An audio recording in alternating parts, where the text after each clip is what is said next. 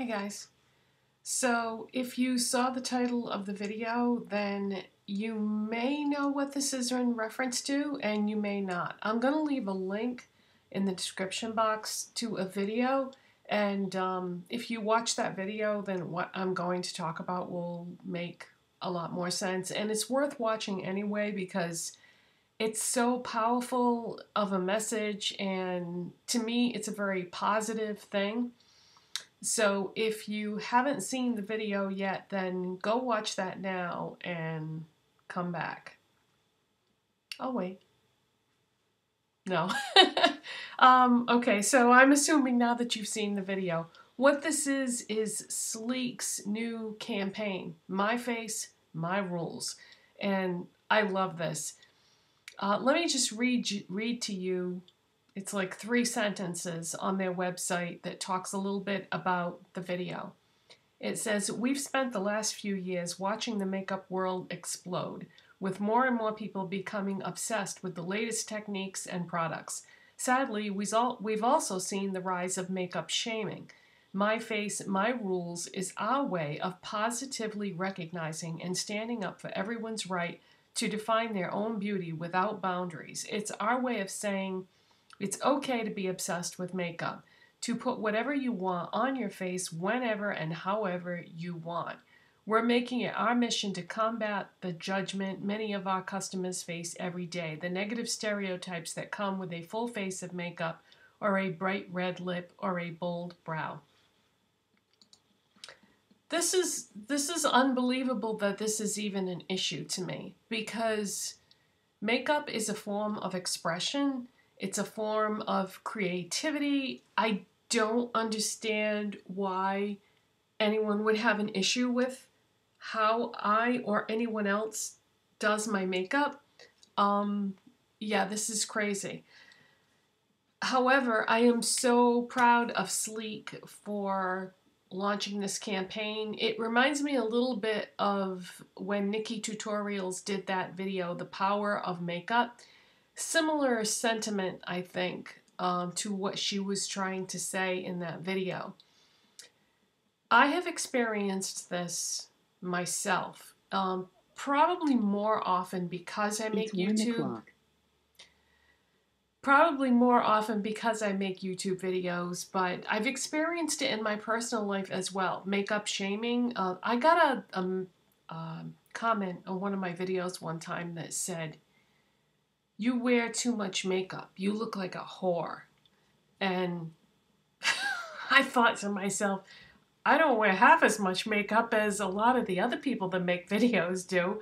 But I was really taken aback by that. And um, I've had people, even in my own life, uh, you know, like I would be out shopping with someone and uh, I would go to look at a makeup item and I don't I don't want to name names or anything, but the person that was with me would look at what I was looking at and they'd say, "It's kind of dark, isn't it?"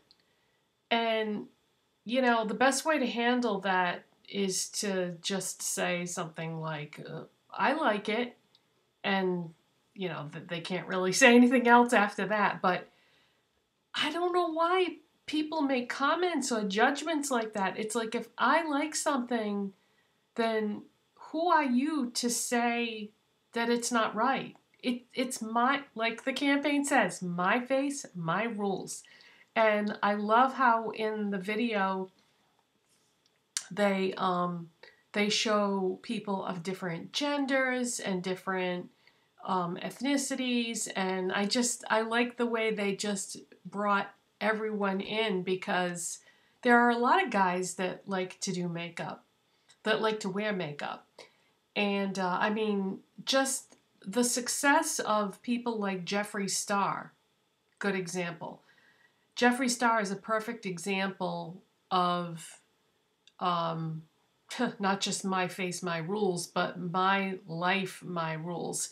I mean, think about it. He is one of the most popular people in the beauty world on YouTube now, maybe even the most popular that is still making videos. Um, if not the most popular, then he's got to be in the top five. And he is very unapologetic about who he is and the way he lives his life.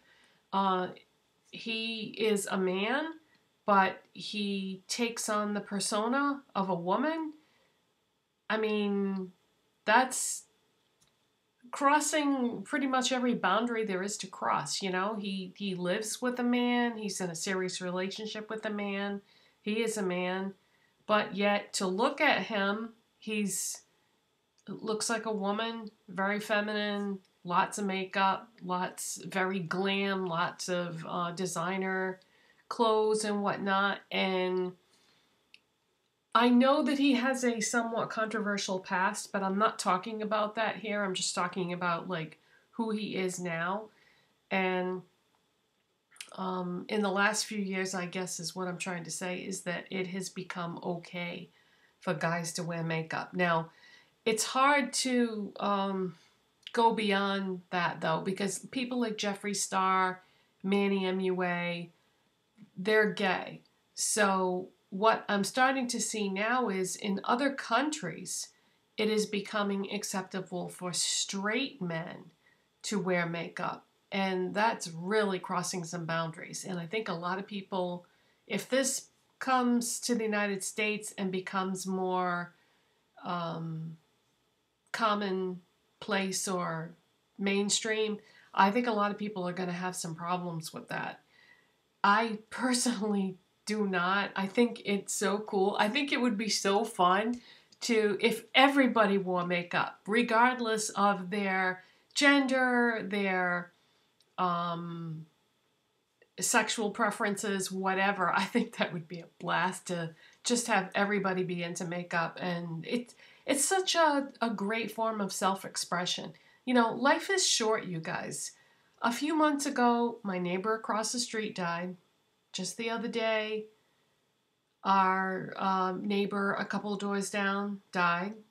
The ambulance just left the house next door on the other side of me. Life is short. Don't take it for granted. If something makes you happy, do it. Don't be concerned with what other people think or say to you about choices that you make for yourself. It's your life and you need to live it for you, not for anybody else. I think that when people criticize other people, it says more about who they are rather than who you are. You know, in the YouTube community, there's a lot of negativity, there's a lot of hate. Uh, all you have to do is go to anybody's video that, especially people that are popular, and just read some of the comments and keep reading. Now, there are some great people out there, and there are some, you know, nice people, kind people that leave positive comments, but there's a lot of haters too. And, you know, some people will say, oh, it's constructive criticism, or I have the right to speak my opinion. You have the right to speak your opinion, but what does leaving hate? What does that accomplish?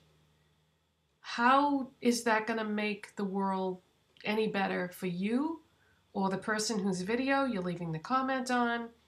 Usually things like that end up being an argument in the comment section between people who like the person whose video they're watching and people who don't and just came there to spread hate. I will never in a million years understand why anyone would watch a video, spend their valuable time watching a video by somebody they don't like. Um, I have consistently thumbs down on my videos a certain number every day. And if you are one of those people that are doing that, please don't waste your precious time watching my video when you hate me. And you might be saying, oh, well, I don't hate you. I just gave it a thumbs down because I didn't like that video. Well, if I'm getting several thumbs down every every single day, chances are it's the same person. It person doing it over and over. Your life is precious. Don't waste it. Find someone else on YouTube that you do like so that you can give it a thumbs up. Don't spend your time hating on me. It doesn't make any sense. Um, yeah. And um, I don't know. You know, uh, I used to be friends with someone here on YouTube that was very popular, and she was friends with someone that was even more popular than her. I'm talking millions of subscribers. I'm not going to name names or anything like that, but the person that I was friends with asked the other person who had millions of subscribers, we're talking years ago, she said, How do you deal with the hate and negativity that you see in the comment section on your videos? And she said, Very easy. I don't read the comments. So, you know how on the really popular people's videos, you never see answers to questions or comments, or they might like leave one response and that's it. But most of the time, you don't see anything. That's why. Because that is the easiest way for people that make videos to deal with the hate. Now, I don't want to do that personally, but if it reaches a point where it makes me uncomfortable and not want to make videos, I may have to do that too. Because, you know, everybody thinks that, oh, well, if you put yourself out there, you have to be equipped to deal with all the negativity that comes with it. That's par for the course. Why does it have to be? You know, people don't make videos to get hated on. People make videos because they enjoy doing it. So, either that or another option would be just disable the comments on all the videos. You know, that's there um, so that people that want to leave a comment can, but it's a, you don't want it to be a case of these people spoiling it for everyone else, you know, that type of thing. So, yeah, that would be an option too.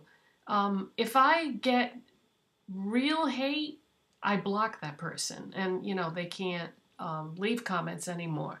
But there are different levels of hate. Uh, some people just get off on leaving negative comments. And most of the time, I just don't even respond to it. But a lot of times, and I've seen this with some of the more popular people in their social media, they feel like they have to defend themselves. And then when they try, it just, it, it never ends up working the way they want it to. They feel like they have to try to explain themselves when really it just brings up more questions and it's, it's not really worth it.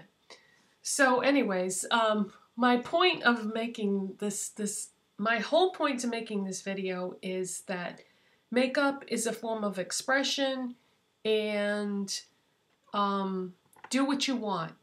Don't pay attention to what the rules are or anything like that. Wear what you want to wear, wear it the way you want to wear it, and if it makes you happy, then do it.